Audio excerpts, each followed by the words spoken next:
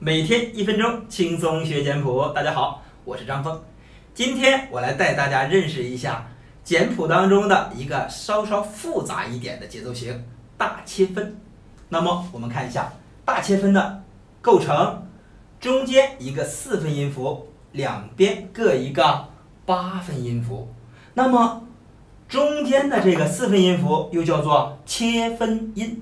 大切分这个节奏型的特点呢是，两边为弱拍，中间为强拍。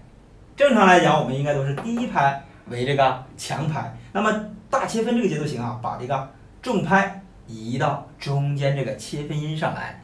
那么我们看一下这个节奏型的这个十支线的画法，前面八分音符为半拍，这个位置是有箭头的断开的。然后中间这个四分音符，你看连起来，它是一拍啊，只不过是跟我们这个一下一上是相反方向的，一一上一下。后面的这个八分音符记半拍啊，记半拍。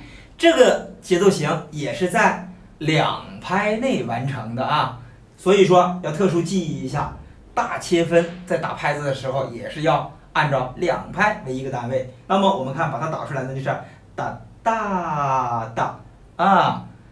哒哒哒，注意，咱们在打的时候如何能把它打准呢？因为中间是重拍，你把中间读成大，前面读成打，后面轻声的的，哒哒的，哒哒的，两拍内完成，一、二，哒哒的，你学会了吗？关注我，学习更多简谱小知识。